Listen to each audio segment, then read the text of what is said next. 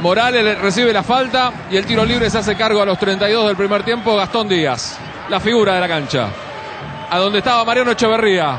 Frentazo del ex Chacarita con la marca muy lejos. Era Segovia el encargado para batir a Luquetti y poner cifras definitivas en aquel momento. Tigre le ganó a Banfield 1 a 0. Sí, muchachos.